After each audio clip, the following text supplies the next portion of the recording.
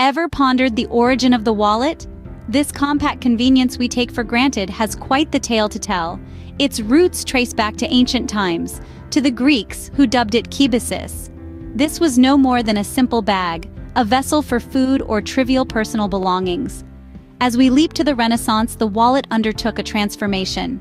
It began to house paper currency, a novel concept for the era. The wallet as we recognize it today, a bifold design with multiple card slots, didn't become standard until the early 1950s. So, who's the brain behind the wallet? The credit is shared, a joint endeavor spanning centuries and cultures.